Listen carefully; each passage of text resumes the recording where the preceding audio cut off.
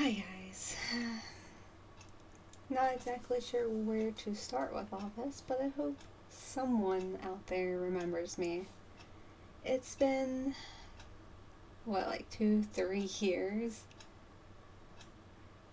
And, um, I, I was formerly known as Zombie.Lover3, and, um, I had an Instagram called Erika Thy Goddess, hence the name.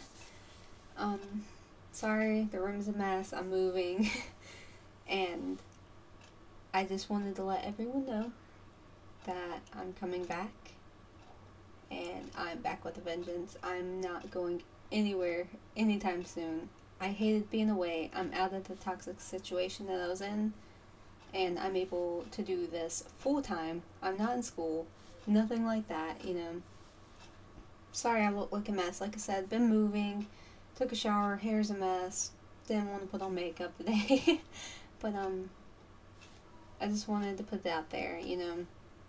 Yeah, I disappeared, and yeah, it's been years, but just know, yes, I still have the fetish, and yes, I still got a lot of ridicule from it, even though I stopped, but it has not stopped me from wanting to do this.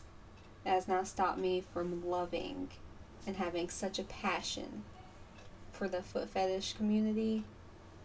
And I just wanted to come back and help everyone I can again and be there.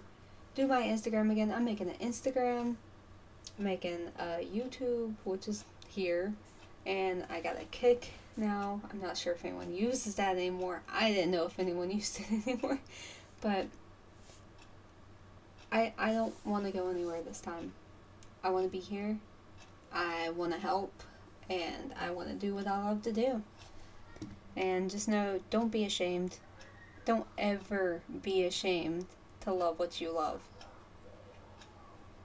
Don't ever forget that. I I got lost along the way. But I know now. I'm not letting anyone hold me back from what I love and I love you guys. So help spread the word if you can. I'm just glad to be back.